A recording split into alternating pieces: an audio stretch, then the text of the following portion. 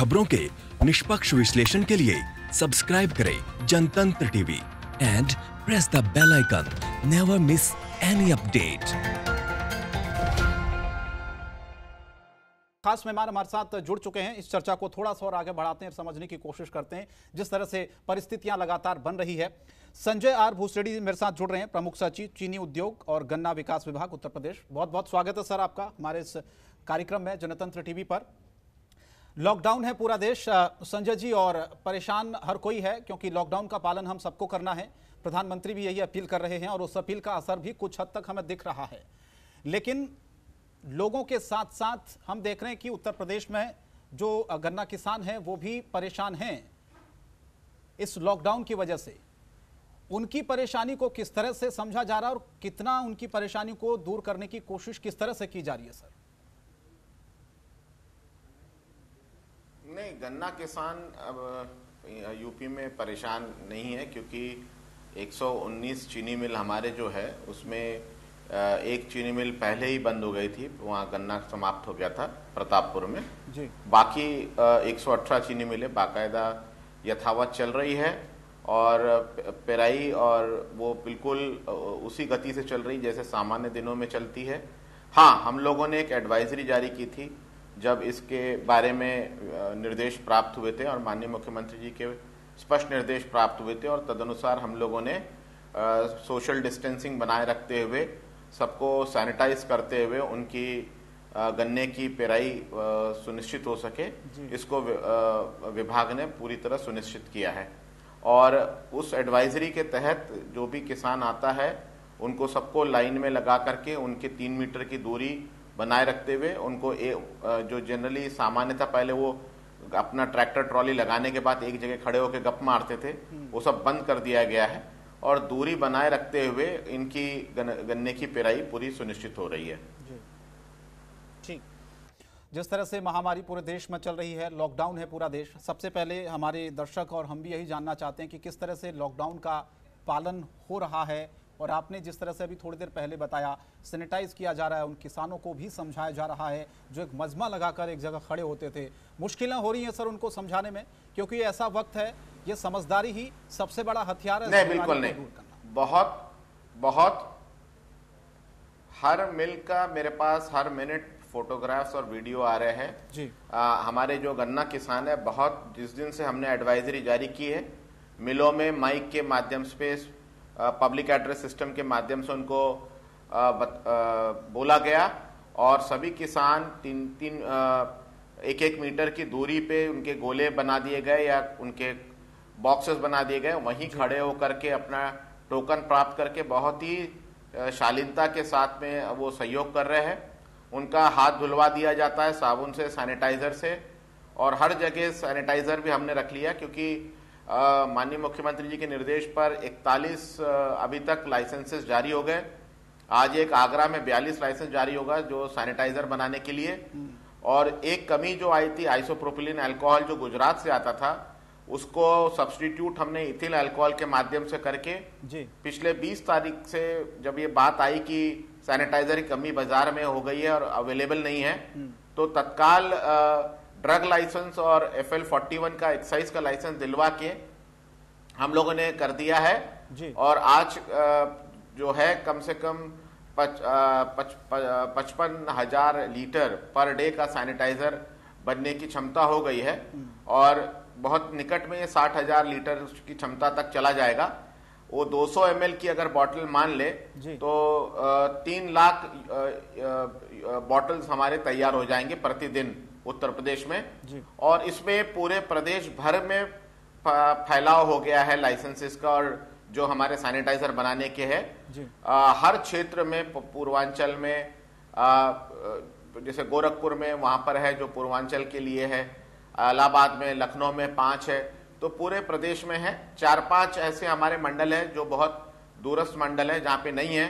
लेकिन वो जैसे बस्ती में नहीं है तो गोरखपुर से कवर हो रहा है। और हम लोगों ने हमारे लो, जो चीनी मिल और सैनिटाइजर बनाने वाले खास करके चीनी मिलों ने डीएम सीतापुर को डीएम शाहजहापुर को वहाँ के जिलाधिकारियों को वहाँ पर बलरामपुर में सौ डेढ़ सौ लीटर निशुल्क सैनिटाइजर उपलब्ध कराया है जिला अस्पताल के लिए पुलिस विभाग के लिए जहाँ जैसा जिलाधिकारियों ने कहा उसके अनुसार उन लोगों को उपलब्ध करा दिया गया है और उन विभागों को खास करके स्वास्थ्य और पुलिस विभाग को उपलब्ध करा दिया गया है। ये निशुल्क में उपलब्ध कराया है। और अब जैसे रायबरेली में समस्या आई थी खत्म हो गया है तो वहाँ के लिए भी व्यवस्था कर दी गई है।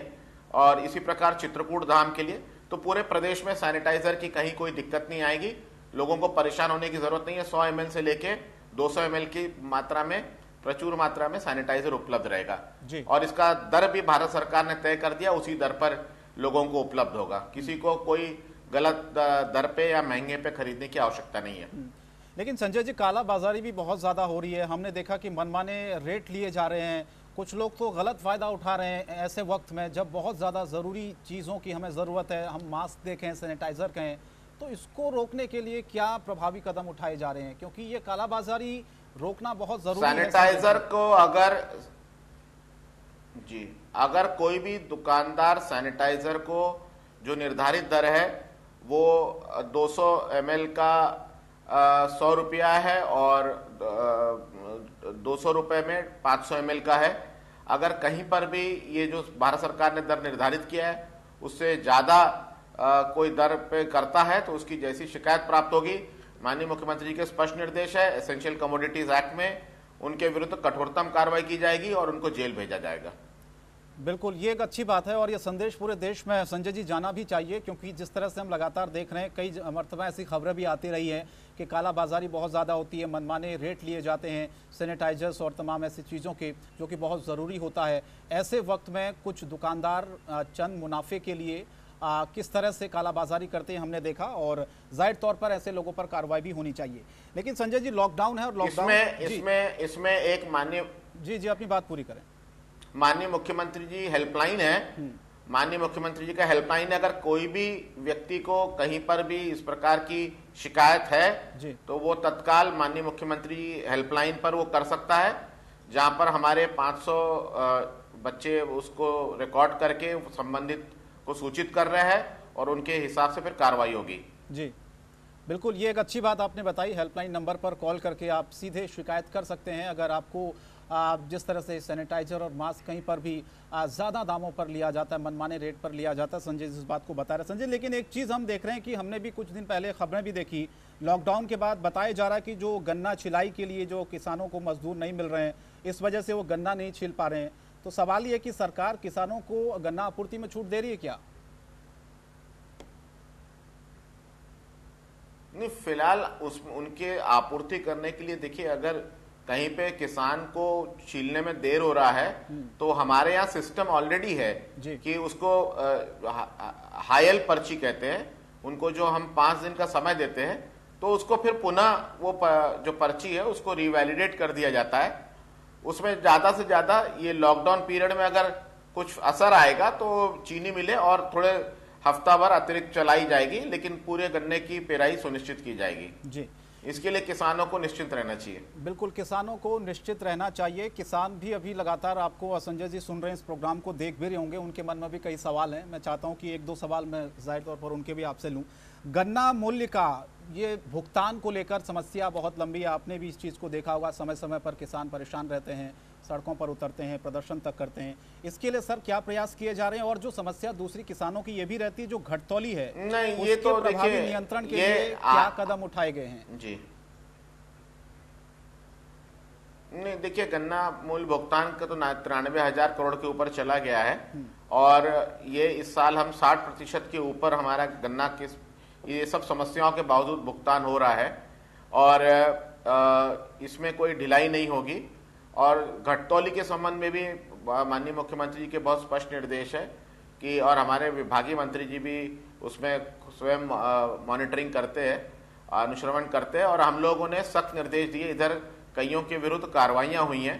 मैं आंकड़े आपको बोझल नहीं करना चाहूँगा लेकिन बहुत प्रभावी कार्रवाई हो रही है। कहीं पर भी अगर किसानों को शिकायत होती है तो हमारे जो टोल फ्री नंबर है one eight double zero one two one three two zero three पे वो कॉल करते हैं। और उस पर उनकी समस्या सुनकर या हमारे पोर्टल पे फेसबुक पे ट्विटर पे वो लिखते हैं तो उसके हिसाब से हम लोग वो सूचना ऑनलाइन त्वरित जैसे ही हमारे पास आता है वो एक सॉफ्टवेयर के माध्यम से तुरंत डीसीओ डिप्टी सीसी और सेक्रेटरी के पास चला जाता है उसके समाधान के लिए। बिल्कुल ये अच्छी बात है समाधान होना चाहिए क्योंकि किसान इस देश का परेशान ना हो इसीलिए सरकार भी समय समय पर प्रयास करती रही है।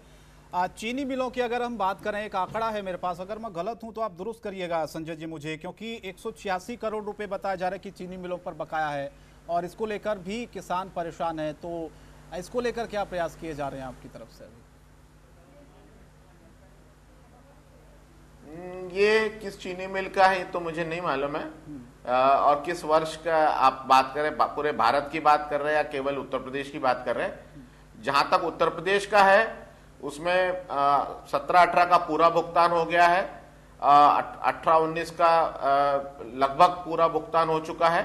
दोनों वर्षों का निन्यानवे साढ़े, पॉइंट फिफ्टी परसेंट भुगतान हो गया, जो लगभग शत प्रतिशत है, और इस साल हमारा साठ प्रतिशत भुगतान हो चुका है। चलिए संजय जी, वक्त की कमी है। इस चर्चा को यहीं विराम देना होगा। बहुत बहुत धन्यवाद। आप हमारे साथ जुड़े। बहुत सारी सवाल थे। उन सवालों का आपने जवाब दिया। किसान भी परेशान था और आपने बताया कि जिस तरह से प्रभावी तौर पर जो कदम है, किसानों की समस्याओं को दूर करने के लिए समय समय पर उठाए गए हैं। इसीलिए चाहे वो चीनी मिलों पर बकाया हो, चाहे वो गन्ना मूल्य का तुरंत भुगतान हो, ऐसी तमाम समस्याएँ जो किसानों की रही है, उन समस्याओं को सरकार ने दूर किया है और समय समय पर उस पर ध्यान भी दिया। बहुत बहुत शुक्रिया। संजय जी, हमारे साथ जुड़ने के लिए इस चर्चा में। फ़िलहाल आज के लिए इतना ही, लेकिन जनतंत्र टीवी पर खबरें लगातार जारी रहेंगी। नमस्कार।